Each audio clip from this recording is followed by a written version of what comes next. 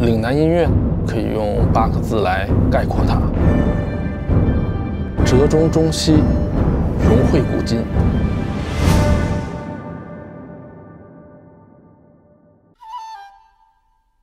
很多人对广东音乐的概念，更多的是像以前的五架头、三架头那样的一种形式。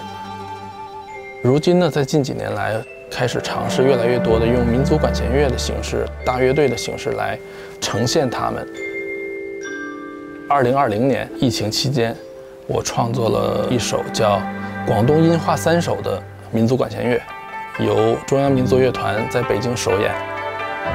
我印象很深。这个作品演完，有很多听众反映啊，原来现在的广东音乐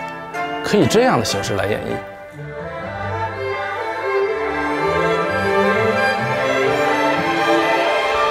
这也为广东音乐的发展提供了更多的可能性。我和湾区音乐是很有缘分的，在广州生活了这么多年。我一直在尝试在作品中融入当地的一些音乐元素。一九年的时候，广州交响乐团委约我创作了一首《美丽的大湾区》，它是一首交响序曲。当时呢，就在这个湾区艺术节的开幕式上首次演出了。这个作品呢，我在里面融入了很多湾区音乐的元素，把这些城市的音乐符号融入到了这个作品中。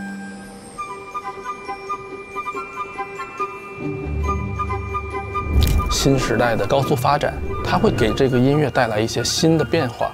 这些呢，其实就是需要我们来做的，把这些新的想法融入到音乐中。传统音乐，我们要爱护它、保护它，